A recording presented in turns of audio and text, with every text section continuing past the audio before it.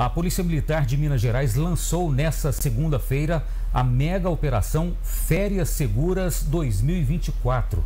Quem traz os detalhes é o Sargento Mota, da Polícia Militar de Piuí. Olá, você que acompanha o Jornal da Onda. Nós estamos aqui no posto da Polícia Militar Rodoviária de Piuí e aqui do meu lado, Sargento Mota da Polícia Militar de Meio Ambiente. Sargento Mota, nós estamos entrando em período de férias. Agora muitas pessoas vão pegar as estradas, né? São período de férias também das crianças de escola e também das famílias. Eu gostaria que você nos falasse sobre a operação Férias que a Polícia Militar de Minas Gerais está lançando agora.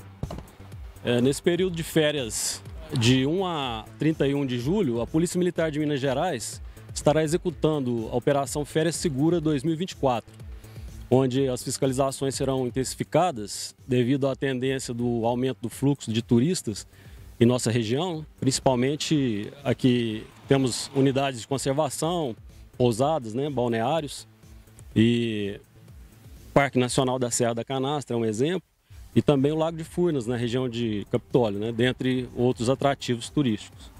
Certo, o objetivo dessa dessa operação, então?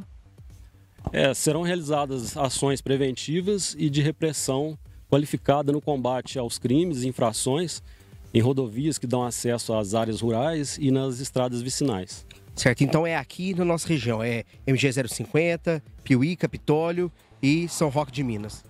É, a, regi a região onde nós atendemos, Piuí, é, Doresópolis e Capitólio.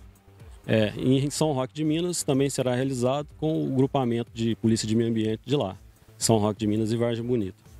Certo, Sargento Mota, eu gostaria que o senhor nos desse então orientações para essas pessoas que vão pegar estradas aí e também sobre denúncias, que é muito importante também, né? É importante as pessoas terem cuidado né, no, no trânsito, aumenta muito o fluxo de, de veículos, né?